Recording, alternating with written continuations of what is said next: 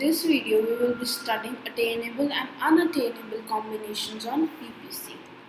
See, what was the production possibility curve? The production possibility curve was it gives you the possible combinations on itself where the resources are fixed and fully and efficiently utilized, right?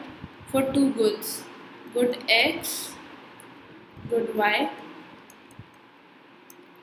this is your production possibility curve which is downward sloping and concave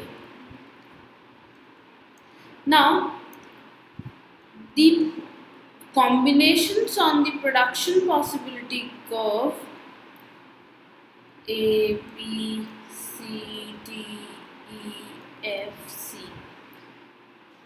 These combinations shows that your resources are fully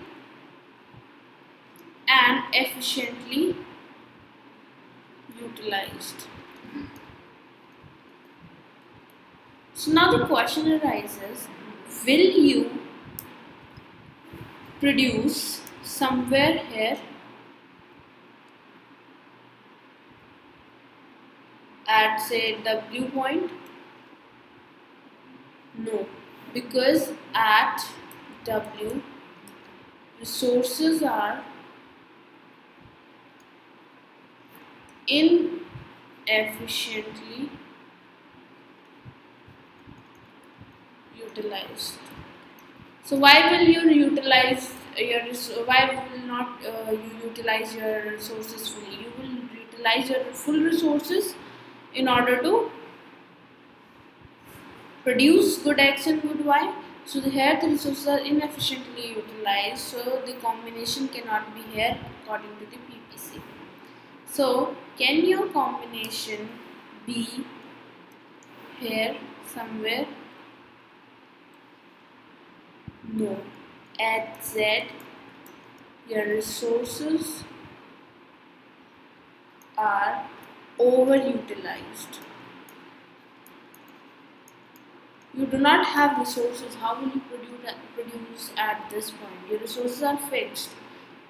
This point will be produced only when your resources are have increased. That is why you did the shifts in the PPC but here your resources are overutilized. So this is not again the attainable combination of PPC these are the uh, combinations on the PPCs are attainable. Below and above the PPC are unattainable combinations. Please download our Scholars Learning app and enjoy the learning experience with us.